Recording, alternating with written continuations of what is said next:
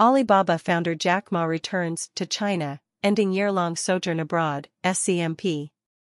Beijing Alibaba founder Jack Ma has returned to China, the South China Morning Post, SCMP, reported on Monday, March 27, ending a more than year-long sojourn overseas that was viewed by industry as reflecting the sober mood of China's private businesses. Ma, one of China's best-known entrepreneurs, left mainland China in late 2021 and has been seen in photographs in Japan, Australia, and Thailand in the months since.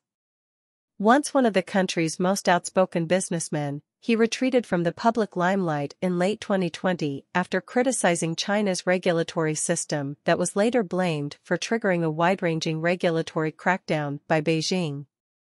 While Chinese authorities said in recent months they had ended the crackdown and would look for ways to support the private sector, Chinese entrepreneurs said they saw Ma's decision to stay overseas as a factor hindering confidence.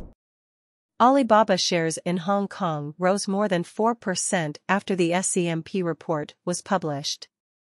The SCMP report did not state when Ma had returned to China but said, citing sources, that he visited a school he founded in the city of Hangzhou, the home of Alibaba and financial technology firm Ant Group.